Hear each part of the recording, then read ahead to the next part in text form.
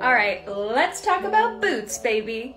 Making convertible boots was a whole exciting milestone for our team in and of itself, just because for quite some time we were told by footwear professionals that convertible boots just couldn't be done, even more so than our other convertible heels couldn't be done because of an enclosed upper. But we just said, mm, I'm not so sure about that since you guys told us we couldn't make any heel that turns to a flat and we pulled that off. So we tried it and lo and behold, we made it work. Couple quick facts on the boots before I try them on. Our boots come with a one and a half inch block instead of a full flat cap just because most boots do have some form of small lift even in their flat form. They are made of a vegan performance knit upper that is water, dirt, and oil resistant, so these are all weather friendly. I'm actually about to wear these out, so I'm gonna go with black.